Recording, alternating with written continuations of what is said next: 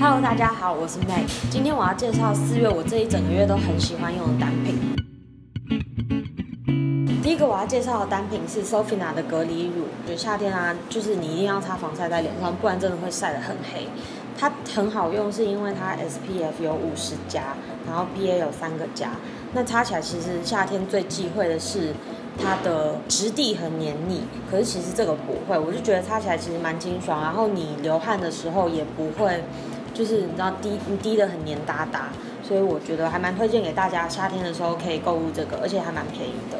再来是这一个 Too Faced 的睫毛膏，它卷翘跟纤长二合一，然后它瓶身非常非常美，因为他们本身他们家化妆品就是以包装著称。那其实这个在台湾是目前买不到，我是上上个月去美国的时候买，可是我知道有一个美妆网站，它就是有好像有包含全球很多很多。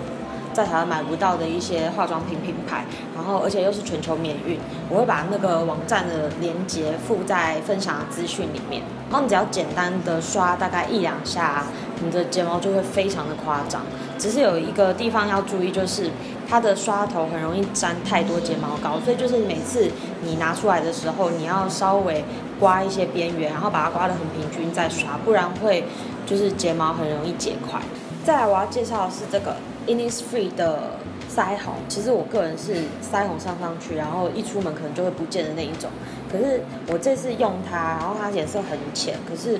就是上上去都很自然，而且大概上五六层都不会很浮夸，就是浮夸的红都不会，就是很推荐给大家。再来第四样，也是最后一样我要推荐的是一零二八的卸妆液，它就快没了，因为它非常好用。我之前是用蜜妮的卸妆。卸妆卸妆油，可是就是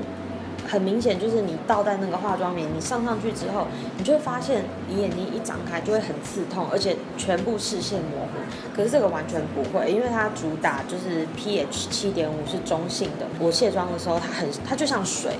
它很好用，然后你眼睛张开的时候，或是你可能化妆棉还敷在眼睛上的时候，都不会刺痛。你张开眼睛也不会模糊，就它真的就像水一样，非常推荐给大家用。以上就是我要推荐给大家非常好用的单品，希望你们都会喜欢。然后记得订阅我们的频道哦，拜拜。